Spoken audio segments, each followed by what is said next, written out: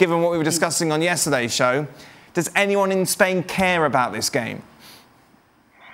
Um, well, yeah, yes, of course, Hola. Uh, then it's Sunday, so we don't have uh, leagues or any other thing anymore. So, of course, in Spain, everyone watched Rafa Nadal uh, win the 14 Roland Garros, and then they watch Spain. Uh, there is a lot of criticism uh, surrounding Luis Enrique. He's not the most popular coach in, in Spain, probably. So they criticize a lot the players he picked, and and it that wasn't a great uh, game, and it's the second draw in a row.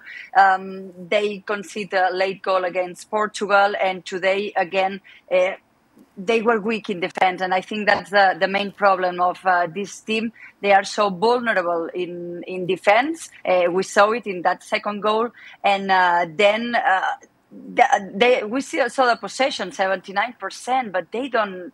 They, they cannot make any danger. They don't have a, a top uh, a, a scorer, so they don't have a killer there, and so it's uh, they need to work better on improve the pressure because they're having so much trouble in that area. I think.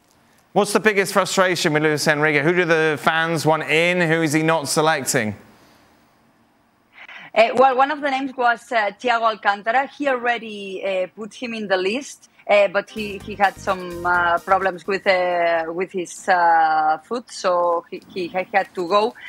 they asked more Real Madrid players. They asked for Nacho, for example. He took Carvajal and Asensio this time, but not in the other games that, that they already played. And uh, it's, it's, it has to, to do as well with the way they play. It's a, it's a very Barcelona way of playing, and not everyone in Spain uh, likes this touch and, and, and this kind of uh, football. So uh, there's criticism in, in, in this. And I think for Spain, the best news is that Gavi, he's such an important player, this 17 mm. year old uh, is important at Barcelona. He's very important in Spain. And Marco Asensio, he, he came from the bench and he was refreshing that for that half an hour.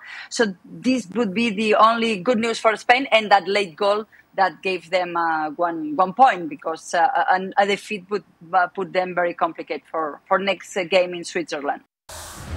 Thanks so much for watching ESPN on YouTube. And for more sports highlights and analysis, be sure to download the ESPN app. And for premium content and live streaming, subscribe to ESPN Plus.